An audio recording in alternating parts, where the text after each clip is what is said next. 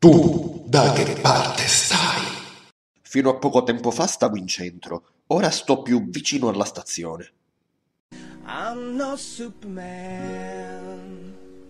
Ciao tuberi, purtroppo sono Filippo Altroquando e bentornati a Super Ergo Sum, rubrica interamente dedicata al mondo dei supereroi. Che dire, i cinecomics ormai arrivano a pioggia e per quanto ammicchino allo zoccolo duro dei fans, tentano di agganciare anche chi i fumetti ancora non li ha letti, magari svolgendo una mirata opera di seduzione attraverso il canale cinematografico. Dietro l'angolo, già uscito negli Stati Uniti, c'è Capitan America Civil War. Sì, Capitan, non dirò mai Captain, ok? già rosico perché dopo essere cresciuto in compagnia dell'uomo ragno, gli Stati Uniti hanno dovuto finire di colonizzare il mio culo peloso facendolo diventare anche da noi Spider-Man. Capisco Daredevil, che era il nome originale, ma Capitan America per me resta Capitan America in italiano e per una semplice ragione. Nel doppiaggio fa cacofonia. Ma torniamo a Civil War. Qualcuno mi ha chiesto se ne avrei parlato proprio in vista dell'uscita del film. Ebbene, sì, giusto per spirito di servizio dalla mia nicchia youtubica vi farò un bignamino della miniserie crossover evento Marvel 2006, semplicemente per fornire a chi non li avesse gli strumenti per un confronto con la lettura cinematografica che ovviamente presenterà delle differenze non da poco. Civil War, per cominciare, nei fumetti si articola come un'operazione di marketing estesa. C'è la miniserie scritta da Mark Millar e disegnata da Steve McNiven che fa la cronaca della guerra civile tra gli schieramenti guidati da Anthony Stark, Iron Man e Steve Rogers, Capitan America. In parallelo c'è un crossover che riguarda un po' tutte le testate e in più singole miniserie. Il tutto scandito da una campagna mediatica la cui frase di lancio era Tu da che parte stai? Al di là delle risposte scurrili che mi vengono in mente, questa frase fu sfruttata sugli albi e in rete in modo che i lettori stessi dibattessero sulle ragioni di questa guerra civile dei supereroi. Ricordo che sui forum e sui social ancora giovani leggevo discussioni che tiravano acqua al mulino o di Stark o di Cap L'imparzialità di casa Marvel era solo di facciata, ma su questo torneremo. Diciamo intanto che Civil War si proponeva in apparenza di cambiare lo status quo del Marvel Universe in modo definitivo. E tutto fu orchestrato con un'atmosfera solenne da tragedia greca. Tutto nasce da una domanda i supereroi sono una risorsa o una minaccia a loro volta? Le loro gesta, anche se animati da buone intenzioni, sono pericolose per la gente comune? Insomma, ben prima che Zack Snyder girasse Man of Steel, dove Superman e Zod si mazziano nel bel mezzo di una città affollatissima, qualcuno si era posto il problema dei danni collaterali. L'intenzione era quella, dopo decenni di calzamaglia, di fare finalmente indossare i pantaloni lunghi ai supereroi, per poi lasciarli a brache calate. Fino a quel momento gli eroi più forti, Hulk, Thor, Iron Man, avevano sempre fatto bordello nelle metropoli americane, a volte facendo crollare edifici fatiscenti e miracolosamente abbandonati, giusto per sollevare un po' di polvere. Il presupposto di Civil War è che invece possano combinare delle vere e proprie cazzate, cosa che fanno i New Warriors, gruppo di giovani eroi minori, che tra l'altro si portano dietro un cameraman che filma le loro imprese per un reality, affrontando tra gli altri Nitro, vecchio supercriminale nato negli anni 70 sulle pagine di Capitan Marvel, in pieno centro abitato, vicino a una scuola. Pessima idea, visto che Nitro ha il discutibile talento di esplodere come una bomba umana, con una potenza devastante, e poi ricomporsi dai suoi mille pezzi.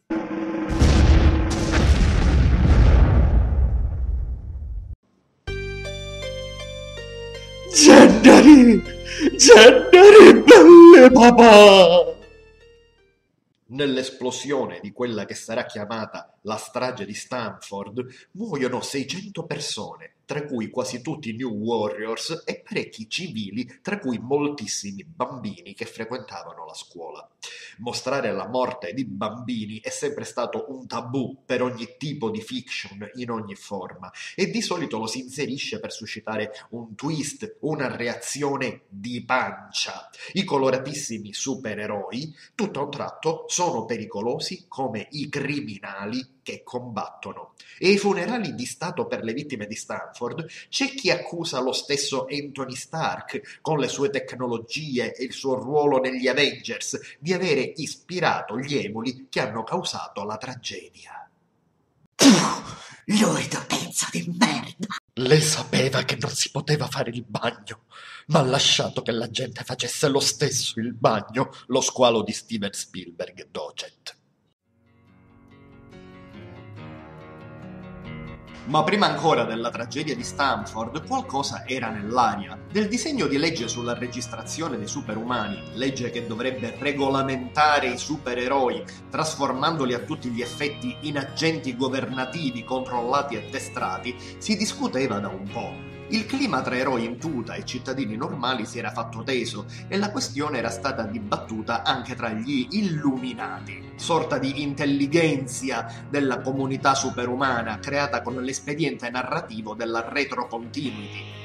Anthony Stark, Reed Richards dei Fantastici 4, Charles Xavier, Namor, sovrano di Atlantide, il mago Dottor Strange e il re degli inumani Freccia Nera avevano costituito questa loggia segreta dopo la storica guerra tra alieni Kree e Skrull, presumendo di riunire una rappresentanza scelta delle varie tipologie supereroistiche, la crème della crème, riunita per deliberare su grandi questioni. Pantera Nera, re del Wakanda, rifiutò l'offerta, trovando l'idea di questa conventicola segreta arrogante e pericolosa. Dagli Illuminati, con eccezione di Namor e Xavier, venne la decisione di esiliare Hulk nello spazio, scelta che avrebbe portato alle conseguenze catastrofiche di World War Hulk, ma soprattutto fu in una delle loro riunioni che Iron Man parlò per la prima volta dell'atto di registrazione dei superumani progetto di legge appoggiato da Stark e da Richards, ma avversato da Strange e Namor.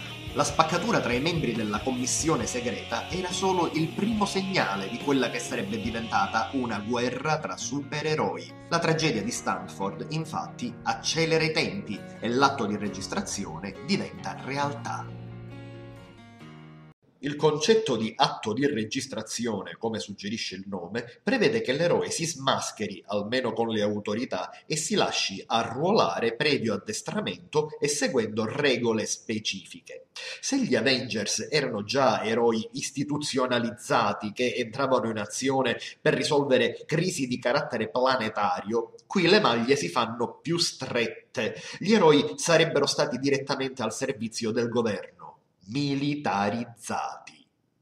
Uno scenario che metterà l'uno contro l'altro due eroi emblematici, Capitan America e Iron Man, il tecnocrate burocrate che appoggia la militarizzazione degli eroi con poteri e paradossalmente il super soldato creato per essere il simbolo degli Stati Uniti durante la seconda guerra mondiale. Un idealista fedele solo al sogno americano, come afferma lui stesso, che vede nella registrazione una limitazione delle libertà dell'individuo e un principio di deriva reazionaria. Chiedere da che parte stavi era solo uno slogan per soffiare sul fuoco, visto che al pubblico piace sempre schierarsi. A proposito, cantava meglio Maria Callas o Renata Tebaldi? In realtà, dal punto di vista degli autori, non solo di Miller, perché parliamo di un crossover molto ampio, dipinge di toni oscuri il nuovo ordine, perché sia sul piano delle dinamiche narrative che su quello pratico, l'atto di registrazione dei superumani è una pessima idea. Il supereroe nella finzione esiste in quanto capace di intervenire laddove la legge non può o non vuole e principalmente per questo nella maggior parte dei casi la sua identità è segreta. È un deus ex machina e di norma agisce ai confini, se non del tutto fuori dalla legalità. Questo confine è spesso ambiguo nelle storie di supereroi. I presupposti di Civil War danno una sterzata e provano a mostrare la questione in tutta la sua spinosità politica. Un eroe la cui identità è nota, sia pure custodita dal governo, è ricattabile in mille modi, diventa automaticamente una potenziale marionetta al soldo della politica. Non solo, ma esisterà sempre l'eventualità che le informazioni su di lui trapelino, rendendo vulnerabile e manipolabile lui e chi gli sta vicino, cosa che molto successivamente, ma puntualmente, accadrà quando dopo il regno oscuro di Norman Osborn si andrà verso il ripristino dello scenario precedente, ma all'inizio è un casino. Nick Fury all'epoca era ancora caucasico ed era latitante e a dirigere lo Shield c'era l'acidissima Maria Hill, che in realtà ha molto poco in comune con Kobe Smulders, l'ex zia Robin di How I Met Your Mother. La guerra inizia nel preciso istante in cui il comandante in carica allo Shield chiede a Capitan America di guidare una forza di polizia che arresti i superumani renitenti all'atto di registrazione. Cap si rifiuta e sono cazzi. Non faccia della politica con me, Hill. I supereroi devono essere al di sopra di queste cose. O sarà Washington che inizierà a dirci chi sono i supercriminali. Pensavo che i supercriminali fossero tizi mascherati che si rifiutano di obbedire alla legge. È una follia, una totale follia che tu possa bruciare all'inferno per questo, Hill. Che tu possa bruciare all'inferno per avermi costretto a farlo. Ormai ci sono due fazioni distinte. Da un lato quella di Anthony Stark che appoggia l'atto di registrazione, dall'altra i ribelli di Capitan America, due schieramenti che se le daranno di santa ragione. Durante la guerra ci saranno lutti e cambi di bandiera, tradimenti, arresti e tragedie. I fatti più importanti che scandiscono la saga sono sostanzialmente due. Nel corso della storia Marvel, a Henry Pym sono stati imputati diversi gesti infami. La creazione di Ultron, quando andò fuori di testa e picchiò la moglie Janet, Wasp. Beh, ci sarebbero pure le responsabilità di Civil War, anche se a onor del vero quelle se le spartisce con Reed Richards e Tony Stark, e sono state poi cancellate dall'evento Secret Invasion. Ad ogni modo, durante Civil War Thor, il dio del tuono, era dato per morto. C'era stato il Ragnarok, la fine del mondo per gli dei norreni. Tony Stark però aveva conservato dei capelli del biondo dio. Da questi capelli Pym e Richards avevano ricavato un clone, o meglio, una via di mezzo tra l'androide e un clone cyborg, con poteri simili a quelli di Thor da usare come arma. Durante una delle battaglie tra fazioni, il clone di Thor uccide Bill Foster, Golia Nero, che militava dalla parte di Capitan America.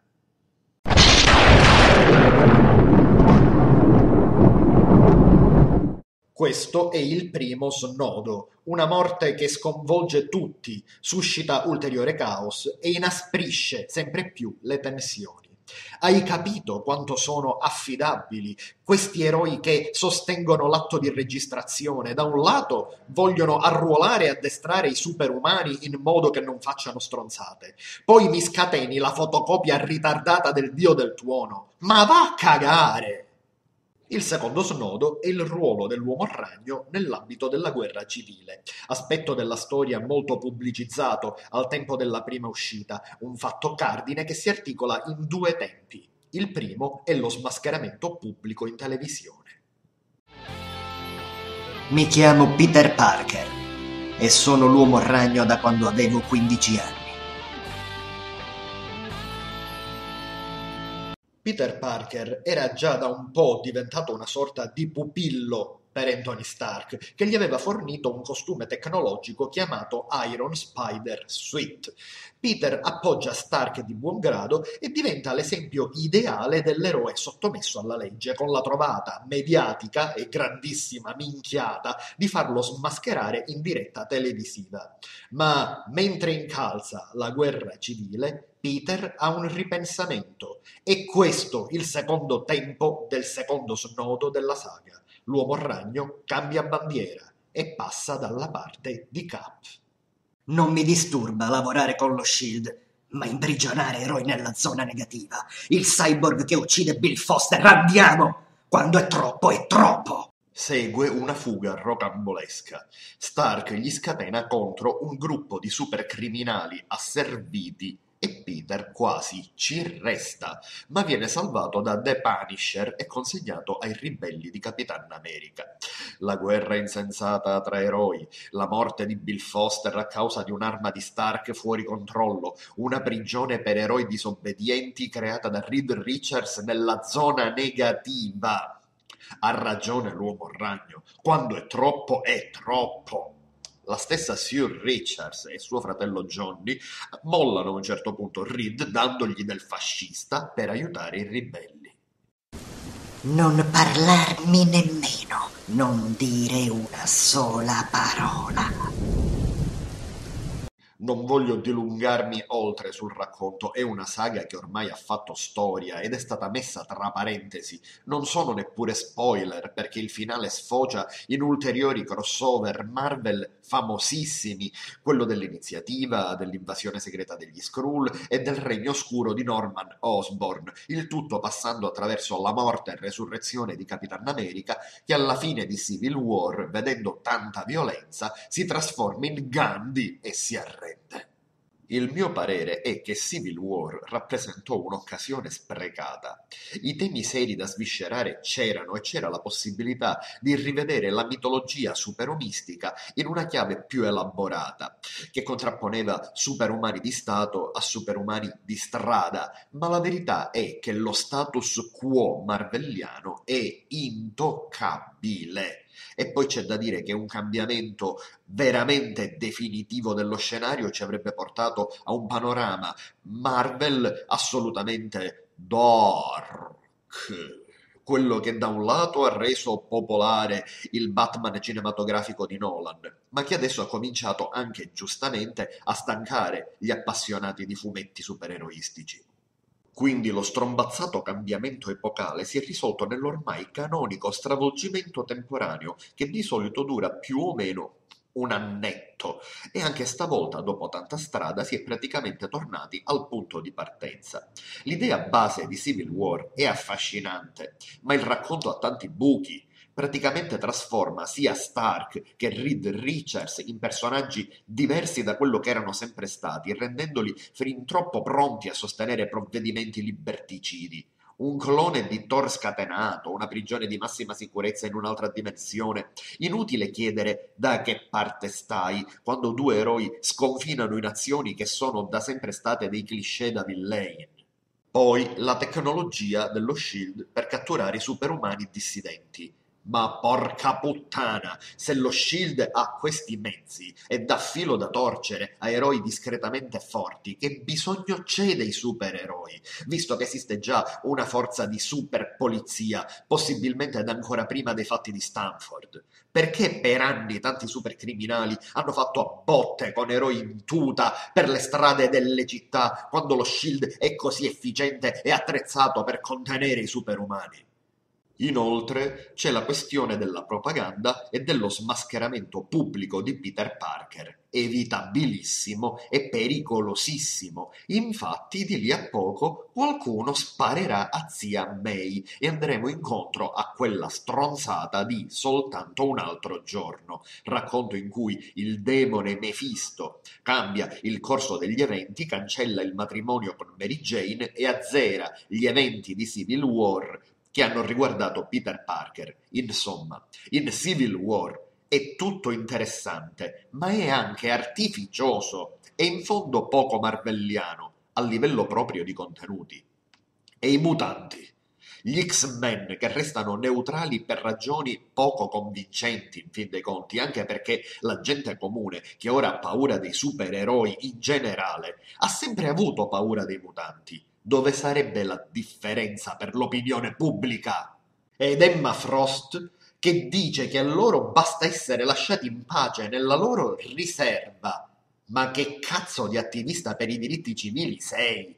Ma e poi come fai a rimanere neutrale davanti a una legge che ti viene a prendere a casa per dirti come devi vivere? Siete mutanti, cazzo! Ricordate la sparata del deputato leghista che voleva prendere le impronte dei piedi degli extracomunitari? Beh, l'atto di registrazione vale anche per i mutanti e non è tanto diverso, semplicemente avreste incasinato troppo la continuity Marvel e quindi a casa. Insomma, si tenta invano, secondo me, di rendere serio e politico un quadro fumettistico che da sempre è variegato e spesso contraddittorio. Nel racconto c'è il ritmo, c'è il dramma, ma è tutto un po' voluto, nel senso di forzato, compreso il finale, con Capitan America che si arrende perché... Hanno ragione. Non stiamo più combattendo per la gente, Falcon. Guardaci, stiamo solo combattendo.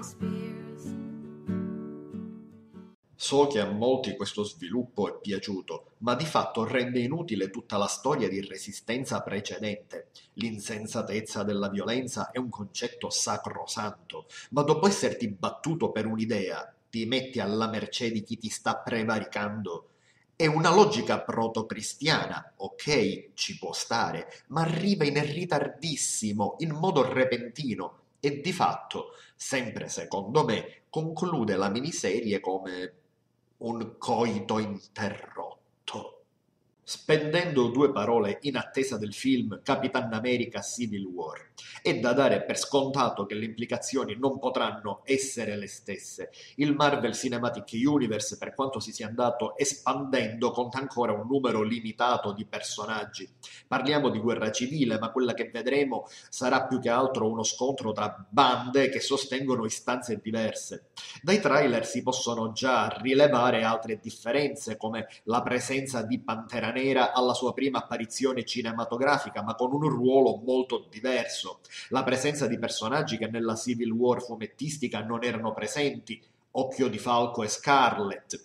È probabile che anche qui ci sarà una morte che inasprirà il conflitto. Ci sarà il debutto del nuovo Spider-Man, Tom Holland. Sono molto curioso al riguardo di vedere come useranno il personaggio in questo contesto. E la conclusione, chissà.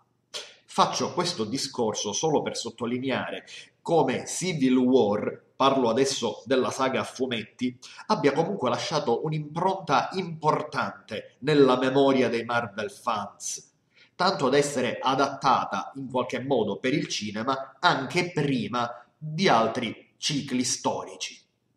I supereroi hanno fatto a botte tra loro sin dalle origini e tutto si risolveva con una bicchierata in taverna.